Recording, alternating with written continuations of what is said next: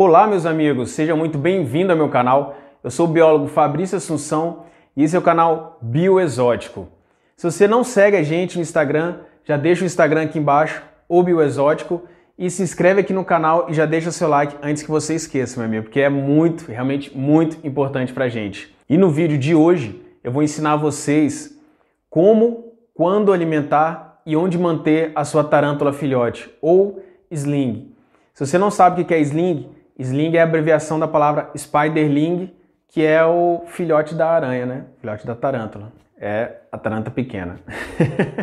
então fica comigo até o final desse vídeo porque assim você vai saber como manter seu animal saudável e vai evitar aí o estresse excessivo dele ou desnecessário e o seu estresse também. Fica comigo até o final. Vamos lá.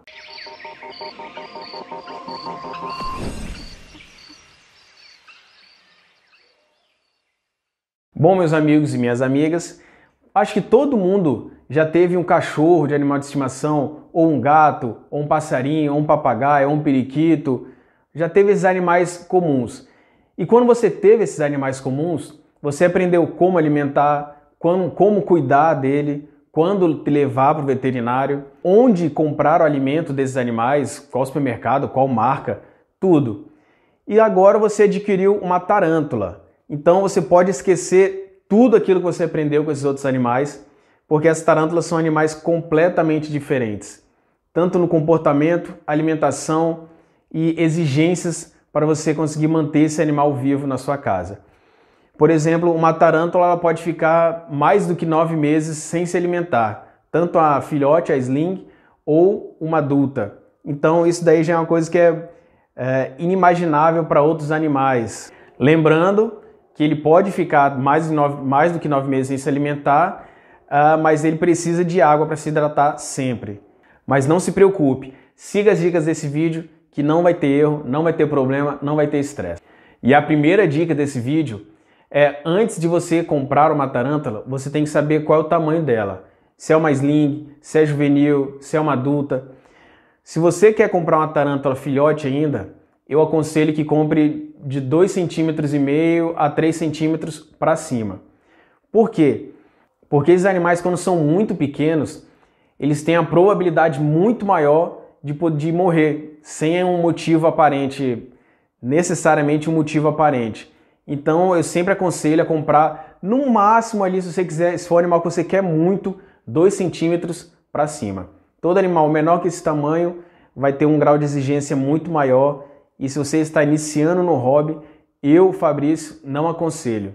Já tive experiência com animais de até 5 milímetros que conseguiram desenvolver, mas tive animais de 1 centímetro que eu não consegui desenvolver, ele morreu por algum motivo ainda inexplicável. Então já deixa anotado aí essa dica, porque eu particularmente eu gosto de ver o animal desenvolvendo, eu gosto de comprar ele pequeno ali, nos 2 centímetros dele, e ver ele se desenvolver até um animal adulto. Eu acho muito legal isso, eu gosto de ver essa, esse crescimento dele.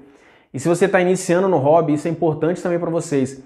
Um animal filhote, pequeno, ele vai fazer uma equidise muito mais recorrente. Você vai ter espécies aí que vão fazer uma equidise por mês, por exemplo. Outras vão demorar um pouco mais, mesmo sendo filhote, mas de um modo geral aí, uma vez por mês, uma vez a cada 45 dias, vai ter uma equidise desse animal na sua casa. Durante esse vídeo, eu vou fazer a explicação e vou colocando alguns takes, alguns vídeos, para vocês irem entendendo melhor é, o que, que eu estou falando, para ficar mais fácil de entender, mais didático. Lembrando que eu não tenho eu tenho ainda tarântulas sling, mas eu não tenho nenhuma tarântula menor do que 2 centímetros. Eu acho que a menor tarântula que eu tenho tem aí seus 2,5 centímetros e meio para 3 centímetros. Mas mesmo assim eu vou mostrar para vocês o passo a passo como que eu faço tudo. Terrário, alimentação, umidade, tudo. Vou falar tudo para vocês. E no final do vídeo eu vou colocar alguns takes de algumas de alguns vídeos alimentando minhas tarântulas. Então não perde esse vídeo, acompanhe, assista até o final.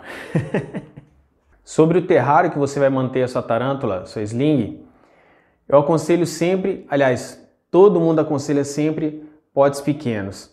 Esse daqui é para uma tarântula sling. Você pode ver que não vai ter muito espaço para ela realmente. A ideia é a seguinte, a ideia é que o alimento fique sempre próximo dela. Por quê? As tarântulas elas não são especializadas em caçar animal. poucas tarântulas vão atrás do seu alimento, entendeu? Boa parte delas ficam na sua toca, o animal passa próximo e ela dá o golpe. É a forma de emboscada que elas utilizam normalmente. Então, aqui você vai manter a sua tarântula e quando for alimentar, você vai alimentá-la da seguinte forma. Você vai manter ela aqui dentro, aqui na tampa você vai fazer alguns furos. Se você não tem nada para fazer furos, pode furar com um garfo, Pega um garfo, força aqui, vai fazer três furos. Os furos não precisam ser muito grandes. Atenção nisso, importante. Cuidado com o tamanho dos furos, que é para onde vai fazer circulação de ar, troca gasosa, outras coisas. Cuidado com o tamanho desse furo, porque existem muitas histórias aí de gente que fez um furo muito grande, achando que o animal precisava de muito oxigênio, e o animal acabou fugindo por esse furo e nunca mais foi encontrado. Se esse é seu, se já aconteceu isso com você, deixa no comentário aqui para eu saber. Aqui eu coloquei um substrato meio a meio. Como eu não tenho, não tenho tarântula desse tamanho mais, eu fiz, eu coloquei esse aqui nesse pote só como exemplo mesmo. Se for uma tarântula arborícola ou arbórea, você pode sim colocar um, uma casca de árvore aqui inclinada para ela poder ficar em cima. Mas atenção, gente. Se ela for arbórea, você pode fazer isso. Mas isso depende de espécie para espécie. Por exemplo, as poecilotérias metálicas, vão precisar de um pote um pouco maior para elas poderem ficar em cima, porque as poecilotérias ficam geralmente na parte superior do terrário. Agora, já uma, uma Psalmopeuirmínia, ela tende a ficar no substrato. Mesmo sendo uma tarântula arbórea, ela tende, quando sling, a ficar no substrato. Inclusive, isso aconteceu, é, alguns, vamos dizer assim, uns haters, sei lá, os donos da verdade, eu postei um vídeo num grupo de tarântula e o pessoal veio me, me perguntar, me falar que o terrário estava errado, que eu não sabia nada das tarântulas, que eu não sabia como cuidar, que não tinha estudado, que era para estudar o mínimo, enfim. Isso daí é tema para outro vídeo. Mas a, a Hermínia, a Psalmopermínia, ela quando filhote, quando sling, ela tende mesmo a ficar no substrato. Você pode até colocar alguma coisa para ela ficar em cima, mas ela vai tender sempre a ficar no substrato. Em relação à umidade, a umidade eu faço sempre controle de umidade um dia antes da alimentação ou um dia depois da alimentação. Honey! Você vai gotejar é, pela lateral do terrário. Você coloca a água sempre escorrendo pela lateral do terrário. Você vai colocar um pouco de água sempre escorrendo pela lateral, porque algumas tarântulas não gostam do substrato muito úmido, encharcado. Então, você colocando pelo cantinho, a água vai descer, vai acumular embaixo e vai distribuir aí a umidade para o terrário inteiro. Então, nem sempre você vai ver um terrário todo úmido, com substrato todo úmido. Às vezes a umidade está muito embaixo, e mas ela está subindo ali, a água está tá evaporando, está perdendo ali as partículas, está subindo e está mantendo a umidade alta. Isso aconteceu também no grupo. Inclusive o, administrador do grupo veio falar comigo, mas dou ouvidos não, deixa para lá. Em relação à alimentação das slings, você, eu costumo fazer de duas formas. Quando eu tenho grilos disponíveis, eu coloco uma pata do grilo ali dentro do terrário, do terrário dela e no dia seguinte eu retiro essa pata do grilo. Faço isso de 3 em 3 dias ou às vezes de 2 em 2 dias, dependendo da espécie. Se eu não tiver grilo, eu corto um tenebro no meio e coloco a metade do tenebro dentro do terrário. No outro dia eu retiro esse tenebro para não dar bolor, não dar mofo, para não dar problema. Então, fazendo isso sempre de 3 em 3 dias ou de 2 em 2 dias. Isso vai depender muito da espécie. Tem espécies que desenvolvem mais rápido, que se alimentam mais rápido e outras espécies que se alimentam mais devagar e com dias mais espaçados. Por que, que as slings tendem a se alimentar muito mais rápido? Você tem ali uma sling que é animal muito menor que um adulto e você alimenta três vezes por semana. Como quando na natureza elas correm um risco muito maior de serem predadas por um animal. Então elas tendem a se alimentar o quanto antes, o mais depressa possível, para poder se desenvolver muito mais rápido.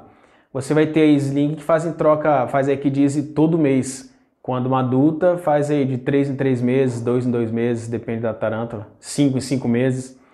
Então, as slings na natureza elas tendem a se alimentar muito mais rápido, com muito mais frequência, justamente para poder se desenvolver mais rápido e deixar de ser uma presa fácil para os predadores. Lembrando, gente, que no final desse vídeo eu vou colocar alguns vídeos de alimentação e vou explicar um pouquinho como é que eu fiz a alimentação delas também, tá bom? Ou mesmo só colocar as imagens que eu acho que já dá para perceber com essa explicação que eu dei. A respeito de equidise, a equidise, como que você pode saber se uma tarântula está na pré-equidise ou não está na pré-equidise? O animal, quando ele está na pré-equidise, o abdômen dele tende a ficar um pouco mais escuro, alguns aparecem uma mancha escura no abdômen. O abdômen geralmente está muito inchado, está muito grande, está um tamanho desproporcional do que o normal. E você pode reparar a coloração dele um pouco mais opaca do animal. Isso daí vai estar na pré-equidise. E geralmente eles tendem a não querer se alimentar. Então, se o animal não está querendo se alimentar, está com o abdômen inchado, então não se preocupe, só mantenha a umidade dele controlada, de acordo com cada espécie, que aguarda um tempinho que daqui a pouco ele vai fazer equidise e você vai ter um animal muito maior e provavelmente vai ter que trocar de terrário. Bom, meus amigos, muito obrigado por terem ficado até o final desse vídeo. Qualquer dúvida, pode mandar direct lá no Instagram, pode deixar aqui no comentário, faz um sinal de fumaça, dá um alô, dá um grito, que a gente está sempre respondendo vocês. Muito obrigado por ter ficado até o final. Fique com Deus. Valeu!